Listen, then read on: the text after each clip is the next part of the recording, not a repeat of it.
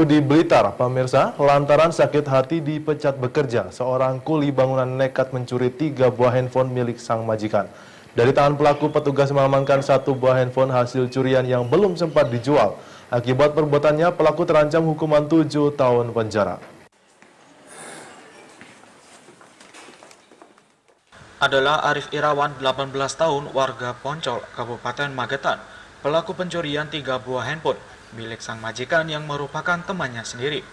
Dari tangan tersangka, petugas mengamankan satu buah handphone yang belum sempat dijual, serta uang tunai Rp600.000 yang merupakan hasil penjualan handphone hasil curian.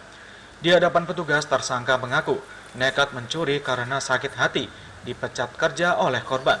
Uang hasil curian tersebut digunakan pelaku untuk memenuhi kebutuhannya selama merantau di Blitar.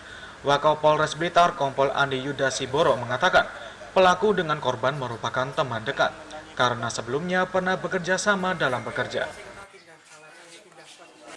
Jadi mereka pernah tinggal bersama dan hubungannya ini antara mandor dan karyawan di salah satu perusahaan yang ada di Kabupaten Blitar. Ya, ini perusahaan tentang jasa konstruksi.